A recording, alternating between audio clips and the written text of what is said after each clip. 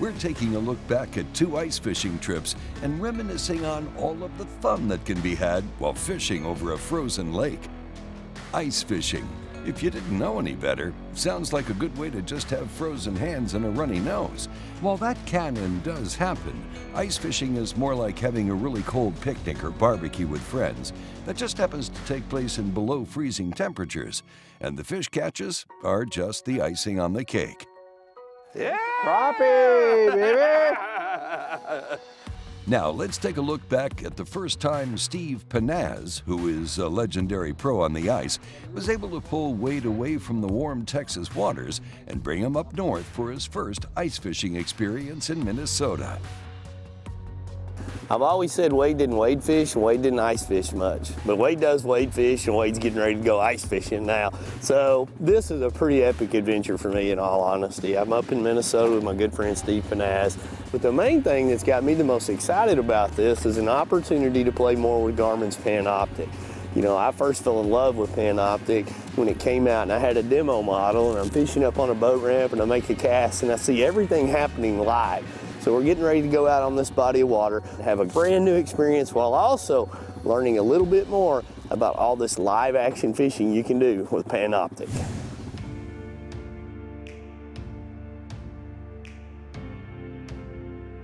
Good gosh. Is this a hook? Yeah, baby. you want something bigger? I'll give you something bigger. Here, you want this? I, I can guarantee you. My eyes aren't good enough to even tie a knot on this. There you go. No, I'm good. We're just gonna tie this on. And uh, we've got uh, four pound mono on here. Mono performs well in this shallow water. If we're gonna fish deeper water, we'll go to a braid or a super line uh, just for no stretch and sensitivity in that deep water. This is by far and away the smallest bait I've ever tied on in my life. Is it? Yeah.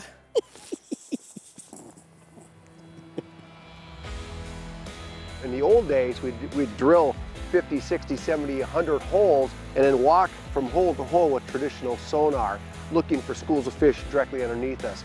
With Panoptix's live view forward now, what we do is we drill a hole, we drop our PS22 transducer down and we scan sideways and we can go out to 100 feet and we'll go, there's a school of crappie here at 60 feet, right between here and that birch tree, or here's another one over here at 40 feet, and it'll just send Wade over with the auger and say, Wade, pace off about 40 feet, drill a hole, we should be right on top of the fish. So it's really changed ice fishing for the better in terms of making it uh, a little easier to find the fish and just to have a little more fun. I mean, we can go to a traditional flasher here real quick and kind of show the same thing that we're looking at. And you can kind of see what's happening now. Here are the, here's the bottom. You've got some perch down bottom. You've got a couple crappie right there. The difference is there's my jig going up and down right there. But it's a completely different experience. Now you can watch. You don't know what's left and right of you like you do on the No. down. No, not at all. You, you lose a lot of that ability. But if we go back to Panoptix again, it's much more spacious. You still have the, the separation between, you can see But you can see so much wider. You can see your bait actually moving up and down, and, Yep. and you know exactly the depth better. You can see how many fish are to Look the at all that side. crappie come screaming up there. See how that fish is screaming up to the bait? No, he just rejected. He just turned it. it and went the other He way. just He just went it. that way to the right. Yep. Now, see how it's all become one? Yeah. Now just sort of slowly lift. There you go. There you go. First one. Pull this out. Sunfish. First one through the eyes. How cool is that? It's ice fish too. That's so Look cool. at that. That's so cool. I could do this all day. I can Ah, already you are going to do it all day. This is like already going to be another addiction. One of the most crucial things to take into consideration before stepping out onto the ice is, of course, safety, safety, safety. Steve Pennaz has some words of advice for us that can prove to be life saving for anyone who's thinking about trying ice fishing for the first time.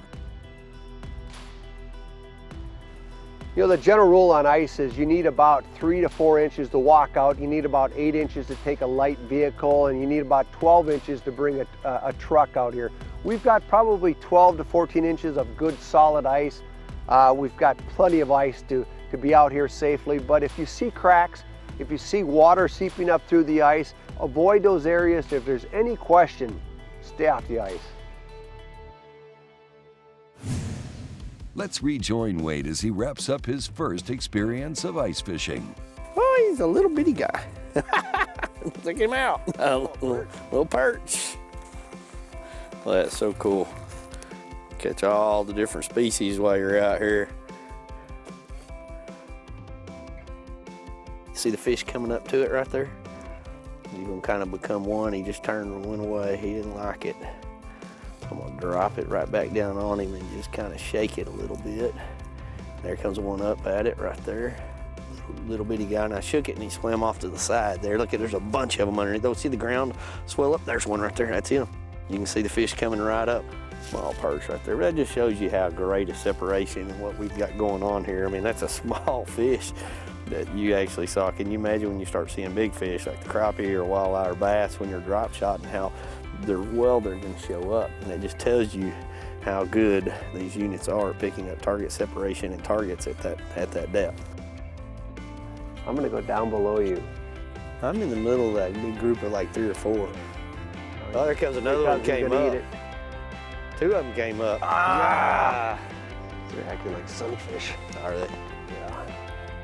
See that? There. Now you'll know. Ooh, ooh. Can you grab that out of the hole?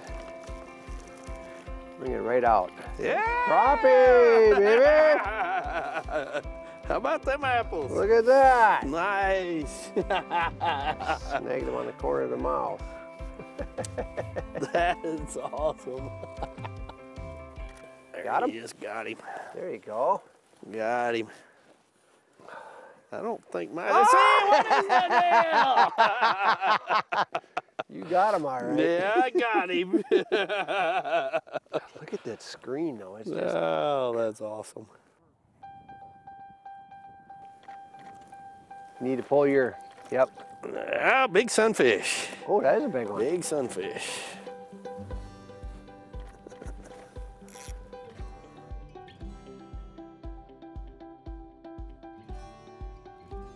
I finally caught a crappie. That's cool.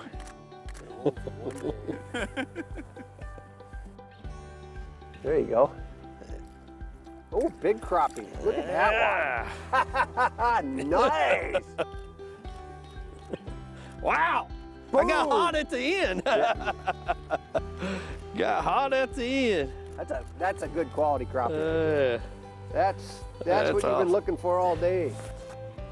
You know, I look back as, as the, there's a lot of firsts in life, and um, you know, I look back to the first bluegill I ever caught, threw a bobber out, little red and white bobber on a rock, and the bobber went down eating a night crawler, and I reeled it in. I was a little kid and ran home to my mom and dad, and wow, check this out, I- you know, and, and really, here I am, you know, 50 years later, and I'm like, wow, check this out.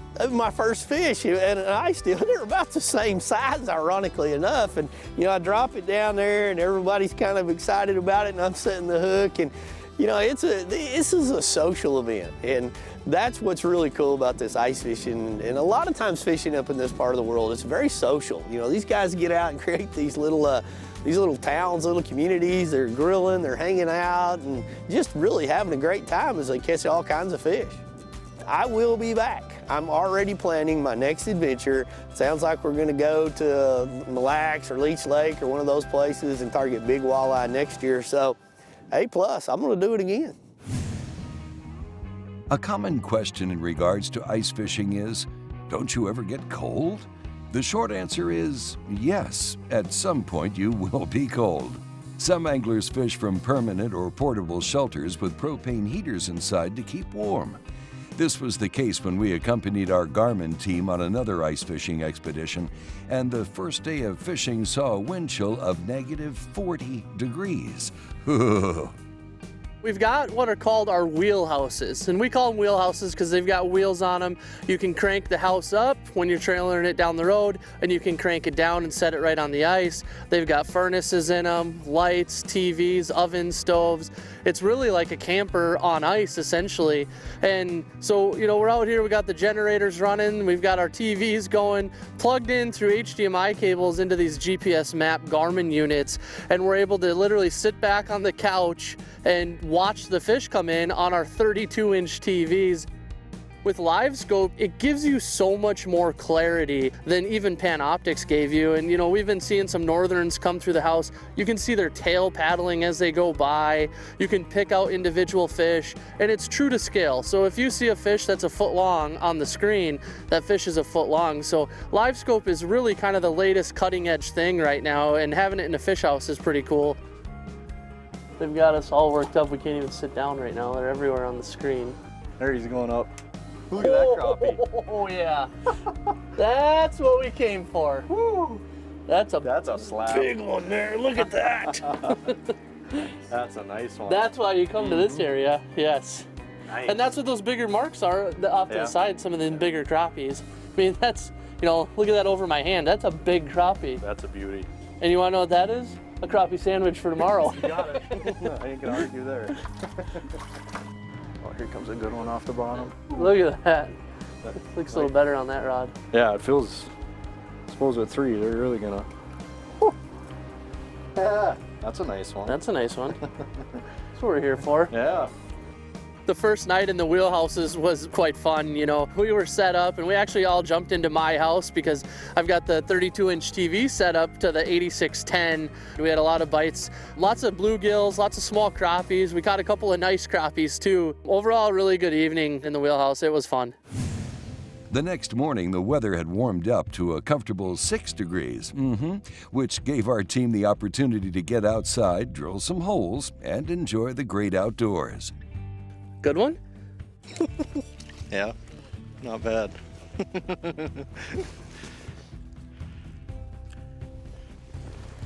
I was just trying to get two higher marks, and then I seen one down below moving around a little bit, so I dropped down to him. Thought he was maybe a little bigger, but He feels, he looks like a head shaker, but yeah, I don't know if. yeah. I wasn't letting that one get away. Oh, that's a tank. Look at that. It's a slab, huh? that was all worth it. Cold hands and everything. So, you know, ice fishing is really a huge growth category in the fishing industry. And, you know, even since when I was a kid, fishing has changed tremendously. You know, we obviously didn't have big crank down houses on wheels with TVs in them and all that kind of stuff. It was more you just sat there with your jiggle stick. If you had a flasher, that was awesome. Today, ice fishing is a very high tech, you know, very advanced fishing. And we can get out here with Panoptix and see fish 100 feet away, which is something that even, you know, a few years ago was just unthinkable. So it's always a good time when you can get out on the lake and, and catch some fish. And wh- whether we catch fish or not, it's about being with friends and sometimes the adventure of it. You know, today we were busting drifts with the truck. The night before we were sitting in the wheelhouse and kind of hanging out. And you know, ice fishing's such a fun way to spend your time in the winter. It's it's cold up here, but you know, we've got the heaters, we've got the houses and the equipment to do it. So I encourage people to get out and try it. Ice fishing is really kind of a fun way to kind of get out into the outdoors and and enjoy, you know, all the great lakes that we have up here in Minnesota. In closing, always make sure you're safe and prepared. Sitting on a frozen lake and staring down a hole the size of a dinner plate may not sound like fun to those who haven't tried it. However, we promise you ice fishing can be incredibly rewarding. And it's an activity that helps many anglers up north get through the long winters. Mix in the Garmin LiveScope and it's one of the most exciting ways to fish.